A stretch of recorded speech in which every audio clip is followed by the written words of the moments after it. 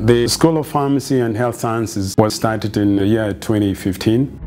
The Bachelor of Pharmacy, which runs for five years, does focus on patient care, pharmaceutical production, pharmaceutical management, pharmaceutical analysis and quality control, uh, natural medicine, and, and also regulatory affairs. The program is actually divided in two phases, the preclinical phase and also the clinical phase. The clinical phase is run by the clinical faculty and also the preclinicals is actually run by the, the pharmaceutical scientists.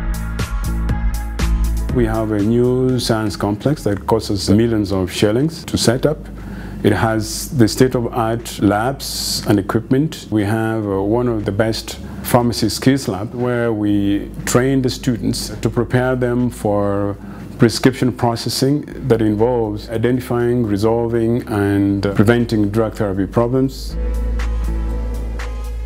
Following the closure of the university due to COVID-19 outbreak, the school took necessary steps to offer online or remote learning to students. Using the Blackboard Learn, students can communicate with their faculty, access teaching learning materials, pre-recorded videos of practical lessons, and also can do continuous assessment tests and exams. Due to the need to have an equivalent face-to-face -face interface, the university has purchased Zoom, a video conferencing platform for synchronous delivery of lectures and also practical sessions. This enables students flexibility to access all recorded lecture materials. During each practical session, faculty and staff will provide the theoretical background of specific practical procedures, what the procedure is about, the objectives, the theoretical principles, and the details of the procedure. Then finally, there will be a live debrief discussion. For the administration of secure and quality examinations, the university has purchased Respondus Lockdown Browser and Monitor, which is a proctoring or invigilating examination that facilitates remote invigilation of examinations. The school has developed an online tracking form which will be filled daily by faculty in order to monitor and ensure all theoretical and practical sessions are attended.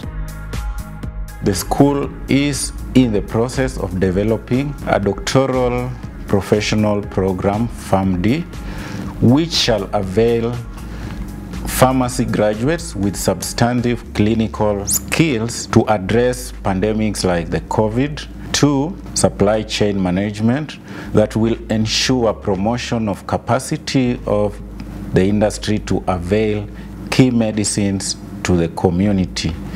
Three is the diversification of health and allied science programs. On the health sciences wing, the population sciences will complement the current BSc epidemiology and biostatistics to avail graduates needed by the healthcare industry. On the pharmaceutical industry services, the school is endeavoring to offer services to the pharmaceutical industries by setting up pharmaceutical innovations and manufacturing centers of excellence, which will provide service for product quality assurance through bioequivalent studies centers and further to avail and complement the alternative medicine use by supporting the efficacy and safety testing of herbal products in Kenya.